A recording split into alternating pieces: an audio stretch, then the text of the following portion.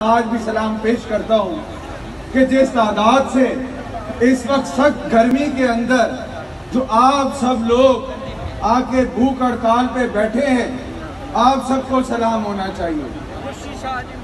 आज आपको आपकी ये मोहब्बत ये मोहब्बत पीपल्स पार्टी के साथ, ये मोहब्बत उस इंसान के साथ, ये मोहब्बत उस वर्कर के साथ जिसने हमेशा हक और साथ का साथ दिया, जिसका नाम खुर्शीद अहमद शाह साहब है।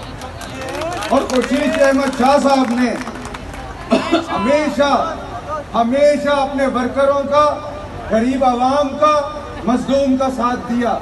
उसकी तादाद ये आपके सामने देख लो।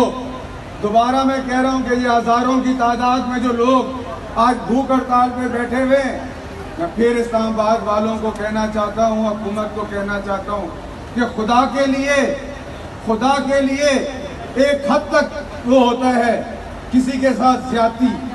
दो साल गुजरने के बावजूद, दो साल बहुत बड़ा अरसा होता है।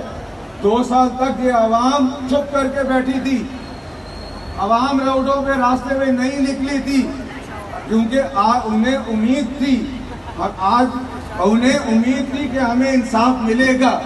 और मैं आपको एक और बात बताऊँ हमें हुकूमत से आज भी है कि हुकूमत हमें इंसाफ नहीं देगी। ये नैब एक हमेशा से गठजोड़ रहा है न्याजी हुकूमत का। हमें